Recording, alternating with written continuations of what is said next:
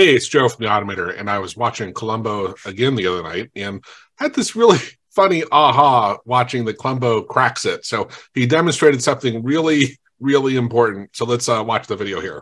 Probable murder weapon, no prints. Yeah, never are. Uh, excuse me. You want to hold that over here for a minute?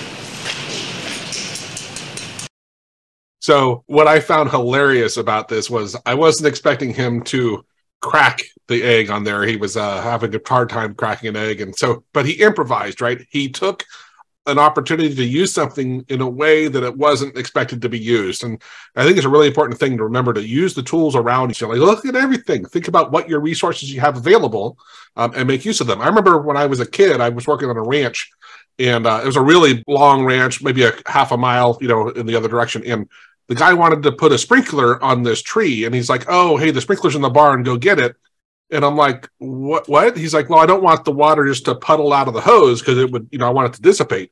So I looked, I picked up one rock, I put the hose against the rock and put the other rock on top of it, which made the thing basically improv a sprinkler in a half a second.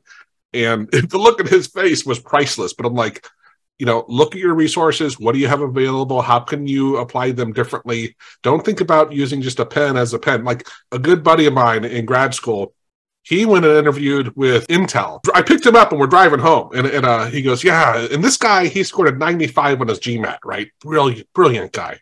And uh, he goes, "Yeah, I was doing really well." And then they asked me this question. They're like, "Hey, here's a here's a coffee mug. Tell you have a minute. Tell me all the things you can do with a coffee bug.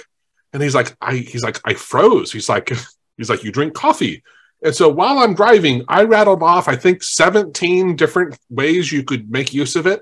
And the look in his face, and it was such a really, really good example of there's book smart and like understanding statistics and things like that. And then there's more of a MacGyver, which is where I'm more creative in how I think. But just understanding it's one of the best things you can do is understand everything is a resource, right? That can be used in different ways. So hope you enjoyed the video. Like it if you enjoyed this video. I, I love Columbo and, and that he uh, is always just, but wait, there's one more thing.